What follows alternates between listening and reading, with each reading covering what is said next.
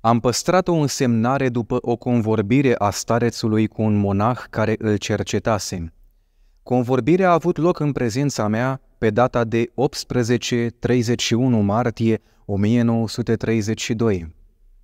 Starețul Siluan spunea că în experiența Sfinților Părinți se pot vedea felurite mijloace de a lupta cu gândul, dar cel mai bun este acela de a nu intra de fel în dialog cu el.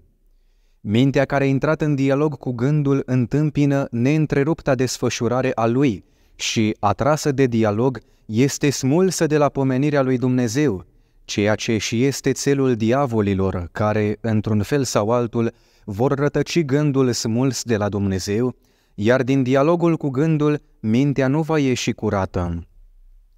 Pusnicul Ștefan, care hrănise din mâna sa un leopard, din obiceiul de a contrazice gândurile, a intrat în luptă cu ele înaintea sfârșitului său și astfel s-a aflat în stare de luptă cu dracii.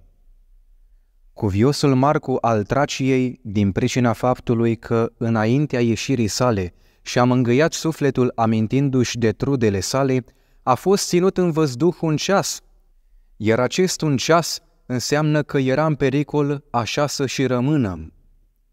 Alți părinți au fost mai înțelepți în lupta duhovnicească.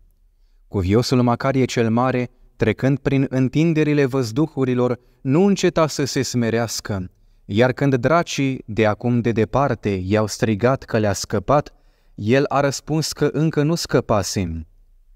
A răspuns astfel fiindcă se obișnuise a-și ține mintea în iad și prin aceasta cu adevărat a scăpat de draci. Cuviosul Pimen cel Mare, deprins fiind printr-o îndelungă experiență a luptei cu dracii, știind că cel mai primejdios și puternic vrășmaș este mândria, toată viața s-a trudit să-și agonisească smerenia și de aceea spunea ucenicilor săi, Credeți-mă, fiilor, unde este satana, acolo voi fi și eu. Însă știind în adâncul sufletului cât de bun și milostiv este Domnul, nădăjduia cu tărie că îl va mântui. Astfel, a se smeri este cel mai bun mijloc de a păstra mintea curată de tot gândul pătimaș. Totuși, mulți nevoitori nu înțeleg aceasta și nu pot gândi în acest chip, ci deznădăjduiesc, nefiind în stare a-și ține mintea în iad și în același timp a nădăjdui la mila lui Dumnezeu. Fără a intra de fel în dialog cu gândul, trebuie cu toată mintea și cu toată puterea a te alipi de Dumnezeu și a zice, Doamne, păcătos sunt și nevrednic de mila Ta, dar Tu, pentru singură milosărdia Ta, mântuiește-mă. Sufletul, adesea, pentru un singur gând de îndoială în milosărdia lui Dumnezeu, și dacă Domnul nu va ierta, pierde mult, iar deznădejdea este mai rea decât toate, este hulă împotriva lui Dumnezeu, ca și când El nu ar fi în putere a mântui, sau ca și cum măsura păcatelor noastre ar putea depăși măsura milosărdiei lui Dumnezeu. El, păcatele întregii lumi le-a luat în întregime asupra sa. Dacă o mamă iartă toate copilului său, fiindcă este neînțelegător, cu cât mai mult va ierta Domnul dacă ne smerim și ne căim. Lupta duhovnicească se aseamănă într-o mare măsură războiului obișnuit și în această luptă a noastră trebuie să ai și bărbăție. Duhovniceasca bărbăție se află în nădejdea cea tare în mila lui Dumnezeu. Nevoitorul cu bărbăție chiar de va cădea în păcat sau va cădea în înșelare și se va abate de la calea cea bună, sau chiar de va aduce închinăciune vreunui drac, nu se va pierde, ci îndată, cu deplină nădejde, se întoarce către Dumnezeu cu pocăință și astfel învinge pe vrășmaș. Dar sufletul fără bărbăție se tulbură, desnădăjduiește și astfel cade. Când cineva se abate de la calea cea bună și cade în înșelare, trebuie neapărat, mai înainte de toate, să aducă pocăință înaintea duhovnicului, povestindu-i toate. După o astfel de spovedanie, lucrarea înșelării slăbește, chiar dacă nu îndată, dar va urma și de plină îndreptare. Mulți se poticnesc, dar din păcate nu mulți se îndreaptă. Mulți la început primesc har, dar foarte puțini revin la el după ce l-au pierdut. Monahul a întrebat, de ce Ioan Colov a început să se roage să îi se întoarcă patimile?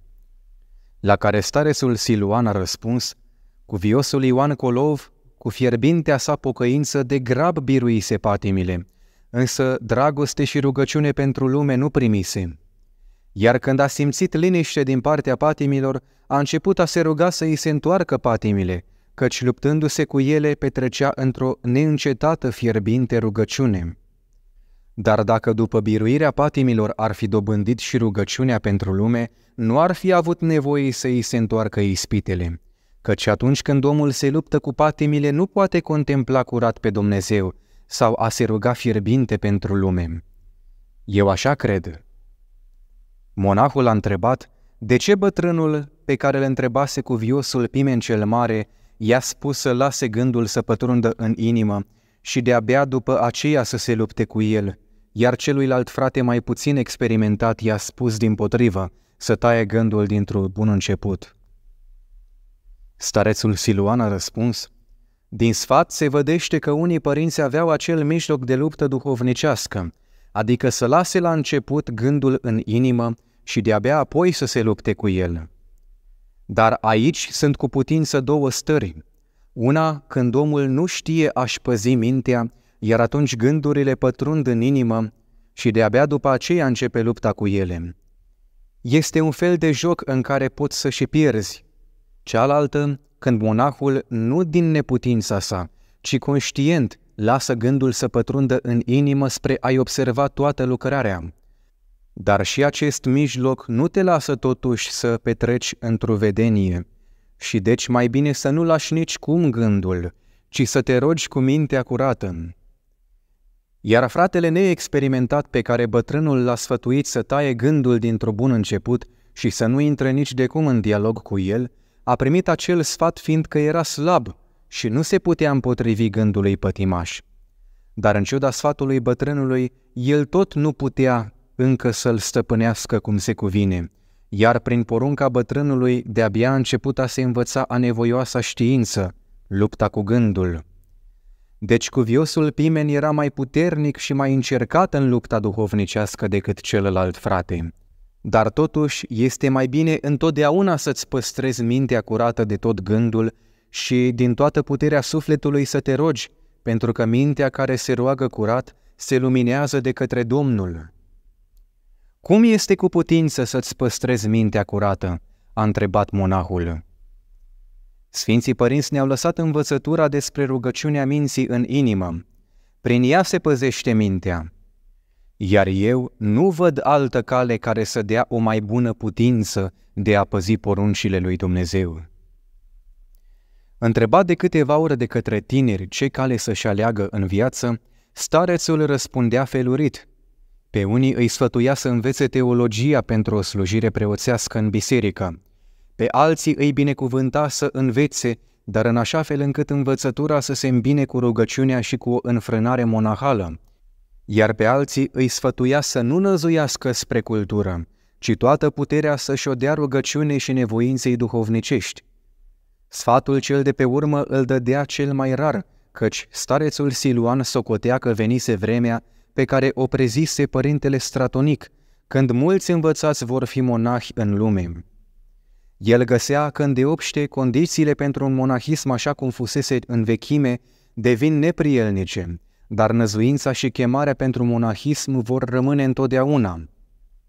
Am observat la stare o puternică încredințare că viața duhovnicească, adică a rugăciunii cu nevoință, pornită dintr-o credință adâncă, este mai presus decât orice altă formă de viață și deci cel căruia îi este dată trebuie să se depărteze de orice altceva pentru ea, până și de carte, ca pentru un mărgăritar de mult preț. Socotea că dacă un om duhovnicesc se va întoarce către știință, părăsind viața nevoinței, el va dovedi un potențial mai mare pentru știință decât cel care este mai puțin dăruit duhovnicește. Sau, cu alte cuvinte, omul înzestrat din punct de vedere mistic, care trăiește duhovnicește, trăiește într-un plan mai înalt și de o mai mare vrednicie decât cel al științei, al sferei gândirii logice. Și având o formă de viețuire mai înaltă, pogorându-se pe un plan mai jos, în acel plan va dovedi o mai mare înzestrare decât omul neduhovnicesc, chiar dacă nu dintr-un început. El spunea că fiii veacului acestuia mai înțelepți sunt decât fiii luminii. Nu pentru că ei și în realitate sunt mai înțelepți, ci pentru că omul duhovnicesc se grijește de Dumnezeu și puțin îl preocupă lucrurile lumii. În convorbirile cu mine, starețul trecea adesea la o formă abstractă, dar în cele cu monahii își exprima foarte simplu părerile în legătură cu întâmplări concrete spre a se face înțeles. Ce este de mirare că omul neduhovnicesc își rânduiește treburile lumești mai bine decât cel duhovnicesc? El se gândește la treburile acelea, pe când celălalt încearcă să petreacă cu mintea în Dumnezeu. Aceasta și printre mireni adesea se întâmplă. Un negustor iscusit își râde de omul învățat că nu se pricepe la marfă, dar asta nu înseamnă de fel că negustorul este mai înțelept. Vom arăta aici o convorbire caracteristică a starețului. Curând, după primul război mondial din anii 1914-1918, în mănăstire a început să se pregătească exploatarea pădurii mănăstirii. S-a cumpărat atunci o mașină cu abur pentru un gater. Iconomul, părintele T, un rus destoinic și înzestrat din fire, după instalarea mașinii și punerea ei în funcțiune, mulțumit de felul cum mergea, a început să laude geniul nemților. Mașina era de fabricație nemțească. Lăudând pe nemți, defăima ignoranța și incapacitatea rușilor. Părintele Siluan, care atunci când avea liber de la munca sa la depozit, mergea la gater să ajute. Asculta tăcut pe părintele Tem. De-abia către seară, când monahii ce lucraseră ședeau la cină, el a întrebat pe părintele Tem, Cum gândești, părinte-te, de ce nemții știu mai bine decât rușii să fabrice mașini și alte lucruri? Drept răspuns, părintele T a început din nou să-i laude pe nemți ca fiind un popor mai capabil, mai deștept, mai înzestrat, pe când noi rușii suntem pe nicăieri. La aceasta, părintele Siluan a răspuns, iar eu cred că aici pricina este cu totul alta și nu că rușii sunt nepricepuți. Eu cred că aceasta se întâmplă fiindcă primul gând, prima putere, poporul rus le dă lui Dumnezeu și puțin se gândește la cele pământești. Dar dacă, asemenea altor popoare, și-ar întoarce cu totul privirea către pământ și ar începe să se îndeletnicească numai cu acestea, curând iar întrece, căci este un lucru mai lesnicios. Câțiva din monahii de față, știind că nu este nimic mai greu pe lume decât rugăciunea, s-au învoit cu părintele Siluan. Mănăstirea Sfântul Pantelimon este una dintre cele mai mari și mai bine chivernisite din Sfântul Munte. Are o minunată bibliotecă, ce numără până la 20.000 de volume, printre care nu puține manuscrise vechi, grecești și slavone, multe cărți foarte vechi și valoroase, adevărate rarități bibliografice, bogate secțiuni teologice, istorice și altele. În odăile mari și bine amenajate ale arhondaricului mănăstirii sunt primiți adeseori oaspeți cu precădere străini. Părintele V, un om cu formare teologică, care știa multe limbi străine, era rânduit să vorbească cu ei. În 1932 venise la mănăstire un doctor în teologie, catolic, părintele C.B. Acesta a vorbit mult cu părintele V despre diferite probleme legate de viața Sfântului Munte și, între altele, a întrebat Ce cărți citesc monahii voștri? Ioan Scărarul, Ava Dorotei, Teodor Studitul, Ioan Casian Romanul, Efrem Sirul, Varsanufie și Ioan, Macarie cel Mare, Isaac Sirul, Simeon Noul Teolog, Nikita Stithatul, Grigorie Sinaitul, Grigorie Palama, Maxim Mărturisitorul, Isihie, Diadoh, Nil și alți părinți cuprinși în filocalie, a răspuns părintele Vem. Monahii voștri citesc astfel de cărți? La noi numai profesorii le citesc, a spus doctorul, neascunzându-și mirarea. La noi ele sunt cărțile de căpătâi ale fiecărui monah, a răspuns părintele Vem. Citesc și alte scrieri ale Sfinților Părinței Bisericii și cele ale scriitorilor asceți mai târzii, ca de pildă episcopul Ignatie Brancianinov, episcopul Teofan Zăvorâtul, cuviosul Nil Sorski, Paisie Pelicikovski, Ioan din Kronstadt și alții. Părintele V a povestit despre această convorbire starețului Siluan, pe care adânc îl cinstea. Starețul a răspuns, Ai fi putut spune doctorului aceluia că monahii noștri nu numai că citesc acele cărți, dar ei înșiși ar putea scrie altele la fel. Monahii nu scriu, fiindcă de acum sunt multe cărți minunate, iar ei se mulțumesc cu ele. Dar, de ar fi ca ele să se piardă, atunci monahii ar scrie altele noi. În răstimpul îndelungii sale vieți la Atos, starețul s-a întâlnit cu mulți mari nevoitori.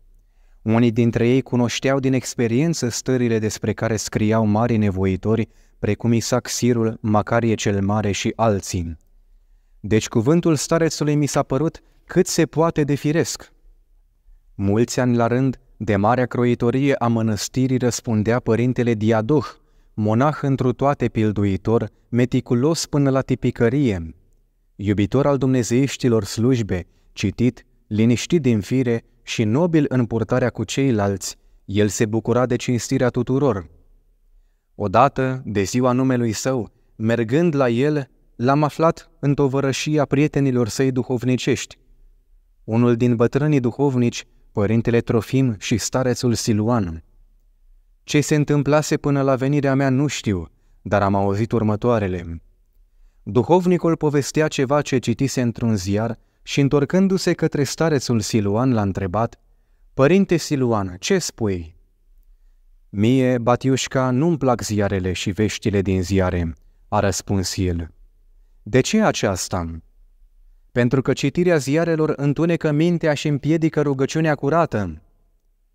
Curios, răspunse duhovnicul. După mine, din potrivă, ziarele te ajută a te ruga. Noi trăim aici în pustie, nimic nu vedem și astfel sufletul uită de lume, se închide în sine și atunci rugăciunea slăbește. Eu, când citesc ziarele, văd cum trăiește lumea și cum suferă oamenii și de acolo mi se naște dorința de a mă ruga. Atunci, fie că slujesc liturgia, fie că mă rog în chilie, eu din suflet rog pe Dumnezeu pentru oameni și pentru lume. Sufletul, când se roagă pentru lume, știe mai bine, fără ziare, cum suferă întreg pământul. Știe și care sunt nevoile oamenilor și îl doare pentru ei. Cum poate sufletul să știe de la sine ce se întâmplă în lume? A întrebat duhovnicul. Ziarele scriu nu despre oameni, ci despre întâmplări, și nici aia adevărat. Ele aduc tulburare minții și adevărul tot nu-l vei afla din ele, dar rugăciunea curăță mintea și ea vede mai bine totul. Nu mi-e limpede. Ce vrei să zici?" a întrebat din nou duhovnicul. Toți așteptau răspunsul starețului Siluan, dar el ședea tăcut, cu capul plecat, și nu-și îngăduia înaintea duhovnicului și a monahilor mai în vârstă să lămurească în ce chip sufletul, departe de toate, rugându-se pentru lume, poate cunoaște în duh viața lumii și nevoile ei și suferințele oamenilor. Învrednicit fiind de o cunoaștere de care abia câte unul într-o generație se învrednicește, în convorbiri, el parcă se rușina să treacă dincolo de o subțire aluzie, fapt pentru care marea sa înțelepciune și experiență fără seamăn rămâneau adeseori ascunse de la cei cu care vorbeam. De obicei, starețul, văzând că primele sale cuvinte nu erau primite, nu nădăjduia ca prin lămuriri să dea a se înțelege ceea ce se înțelege cu precădere prin experiență, iar a șovădi pe a sa nu îndrăznea din pricina duhovniceștii sale întregi cugetării. Astfel, de-a lungul vieții sale, el a rămas nevădit. Fără îndoială, aceasta nu era doar voia lui Dumnezeu pentru el, ci și propria sa dorință pe care Dumnezeu a primit-o și a împlinit-o, ascunzându-l chiar și de părinții din Sfântul Munte. Cu toate acestea, nu de tot, până în sfârșit, a rămas el necunoscut. Unii monahi și nemonahi, persoane ce veniseră la Atos sau care putuseră coresponda cu el, l-au prețuit și adânc l-au iubit. Printre ei erau și episcopi și preoți cu o înaltă formare teologică și mireni binecinstitori. Îmi amintesc următoarea întâmplare. În mănăstire fusese ca oaspete o vreme mai îndelungată un ortodox străin, căruia întâlnirea cu starețul îi lăsase o adâncă impresie. Ajunsese să-l iubească pe stareț și adesea mergea la el. Monahii au aflat. Odată, unul dintre cei mai de vază din sfatul bătrânilor, ieromonahul N, un om cu carte și cu minte vioaie, întâlnindu-l pe un coridor al mănăstirii, a zis Nu pot înțelege de ce dumneavoastră, academicieni culți, mergeți la părintele Siluan, un țăran fără carte. Oare nu se găsește unul mai deștept decât el? Pentru a-l înțelege pe părintele Siluan trebuie să fii academician, a răspuns oaspetele, nu fără durere în suflet. Același romonah N, neînțelegând în continuare de ce pe starețul Siluan îl cinstesc și îl cercetează oamenii cu carte, vorbind cu părintele Metodie, monah ce se ocupa mulți ani de librăria mănăstirii, remarcă, Mă mir de ce se duc ei la dânsul.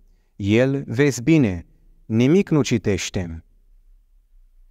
El nimic nu citește, dar toate săvârșește, iar ceilalți multe citesc, dar nimic săvârșesc, a răspuns părintele Metodie.